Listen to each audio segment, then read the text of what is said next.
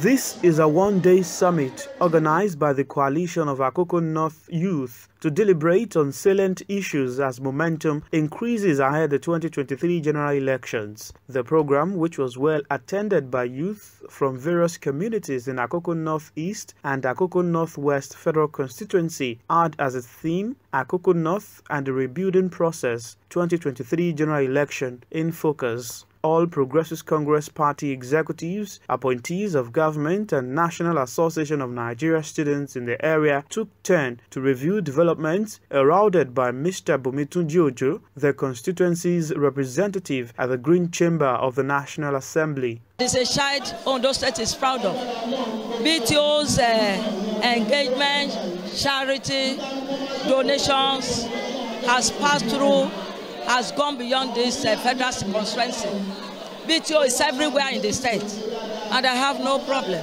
And anywhere my youth are, I must say, this is election period. I am a homemade and grassroots politician.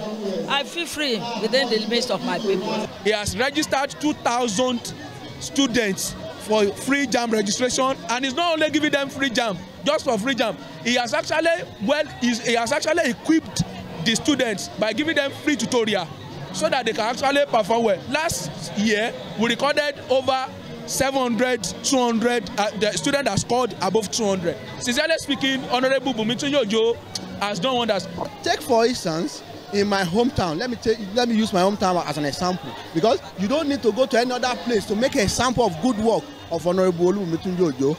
There is a, an industrial borehole in my town and that borehole is being constructed by Nimbri.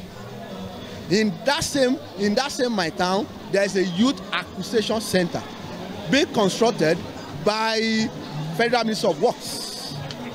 So uh, there, are, there are internal roads. There are internal roads in my community. The convener of the summit, Ife Eyindero, in a communique at the end of the deliberation, said the youth are calling Mr. Olubunmi Tunji-Ojo to contest for the House of Representatives seat again. Have never had it like this since the beginning of the Fourth Republic in 1999. So that's why we are very happy. You can see the numbers of people. We call this summit just a very short period of time. And the people are here, enthusiastic, very happy, and everyone has something good to say. So that's why we are here to support him, give him our full backing. The coalition urged people from the federal constituency to use the last window of the continuous voter registration process to get their permanent voter card ahead the general elections. Zaheed Aribisala, South News.